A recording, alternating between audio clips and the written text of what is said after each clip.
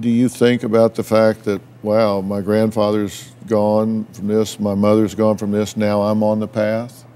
Of course I do. How could I not? Right. I mean, what kind of a moron would I be to go, oh no, uh, living in that kind of denial? I have the beginning stages, the early stages of dementia. And, you've been to Cleveland Clinic, right? I have. I always said to my friends and to my son, I said, look, if you ever see me get to the place that my mother has become, I said, if you ever see me like this, I want you to promise me you'll find a way to let me go. And don't let me live like that. Please. What did he say to that? He cried. What I'm doing right now. He didn't agree to that, did he? No. It's a burden to put on his child.